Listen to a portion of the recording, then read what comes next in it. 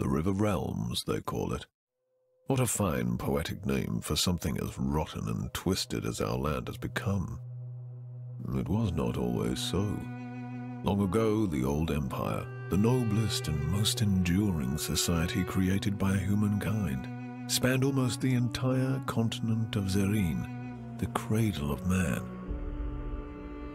But after several millennia of progress and incomparable achievements, inevitably the empire began to fall into stagnation and decadence. Desperately holding on to their privileges and resisting change while trying to avert the collapse of the realm, the emperor and his theocracy took to measures that were worthy of true despots in cruelty. Subjugating weaker realms, enslaving whole nations, strip mining foreign resources, oppressing imperial citizens, war on several fronts, genocide. Eventually, the gods could no longer tolerate such horrors wrought in their name. Foretold by an abundance of divine omens, they descended upon the Empire to right its wrongs. Thus, in a chain of dreadful events that became known as the Calamity, they annihilated the Empire in a matter of days.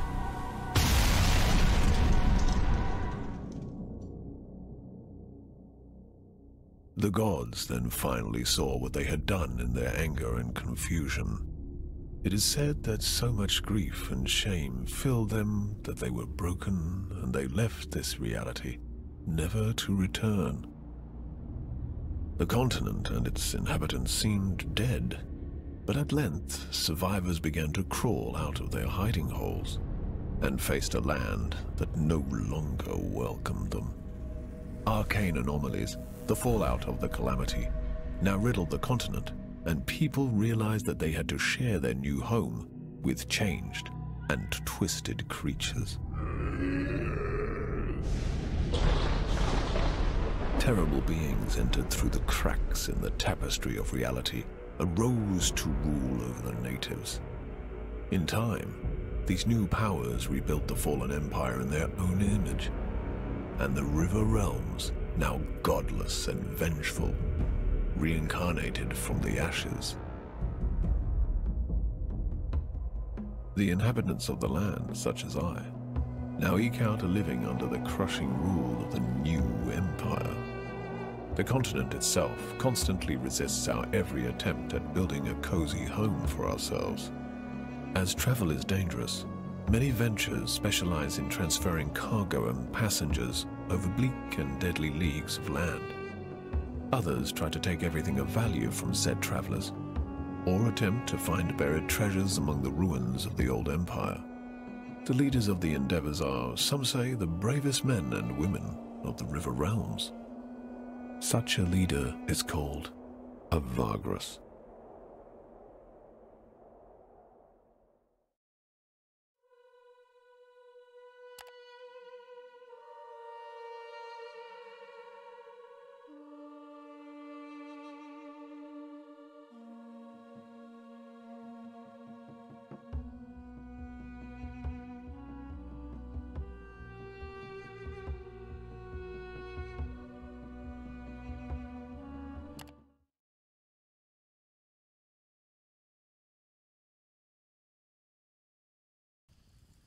Ah, yes, a Vagrus.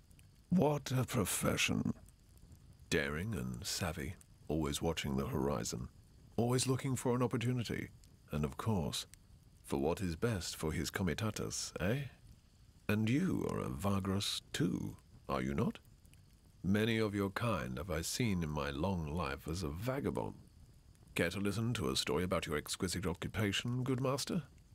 It is a tale of woe and terror, but it is also a tale that is true, as I have seen it with mine own eyes. Wise you are, good master. My tale is of a Vagrus, such as yourself, but one whose fate was cursed and wrought with ill fortune. It all happened a long time ago. Ten years, maybe more. I was but a passenger, traveling rough roads and forgotten ways with this comitatus, south along the feet of the great mountains of the west. This comitatus I speak of had fallen under hard times. Perhaps it was due to imperial harassment or unfortunate decisions, or simply bad luck. Irafrons, saint of roads, does not always smile on us mere mortals. But however, it came to pass, their coin was drying up, and their opportunities seemed few and far between. One of the last chances their Vagrus saw was to travel to the remote town of Scrapheap and spend their remaining funds to stock up on cheap scrap metal. This metal could be sold for great profit over in the east and south. It wasn't a bad plan, truly.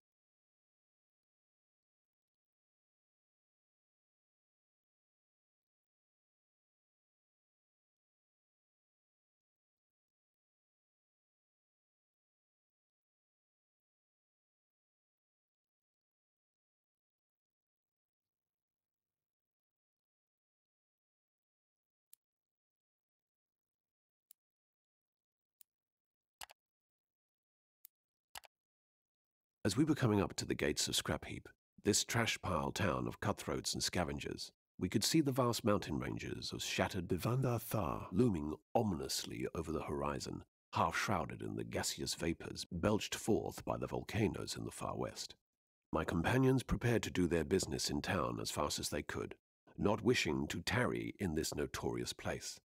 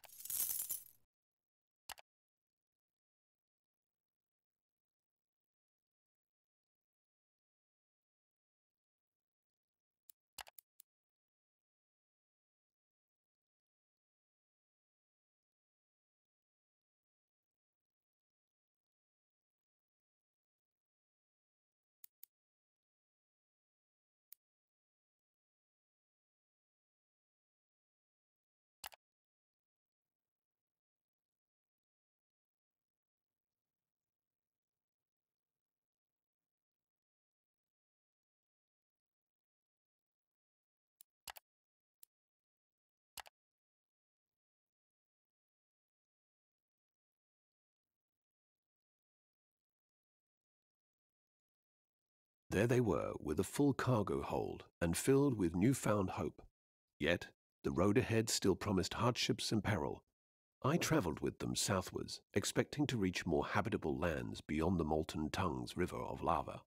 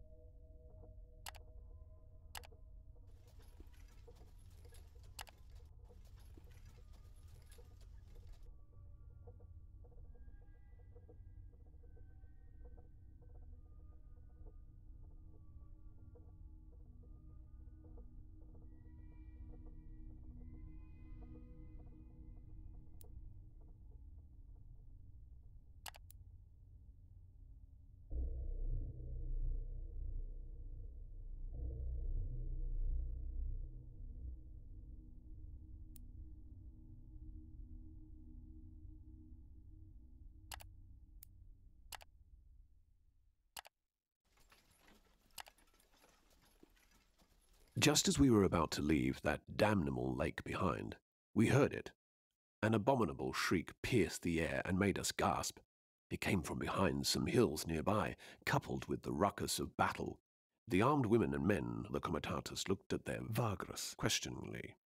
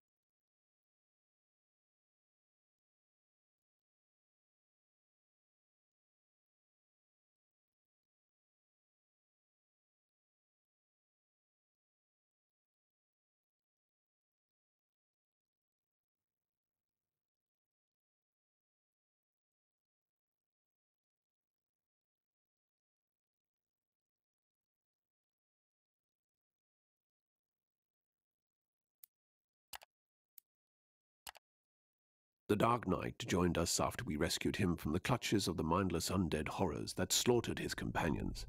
He was a grim sort, displaying no gratitude or companionship. Yet we were stuck with him, for a lawman such as the Knight could make his dreadful will ours by command. So we set out, bound for Avernum, the greatest city in the vicinity.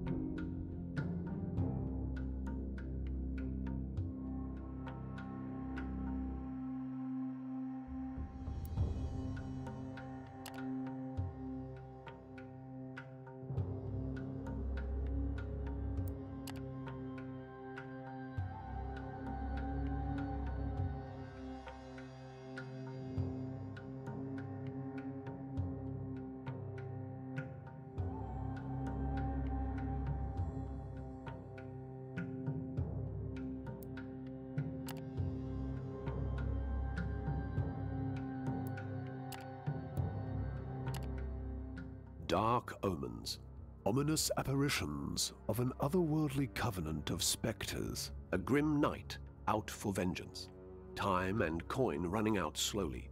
Yet against all odds, we journeyed to the city of Avernum on the Smoulderbone Flats, a place bustling with travelers, merchants, and lowlifes. It was supposed to be a short stop on our way east, but we got more than we bargained for.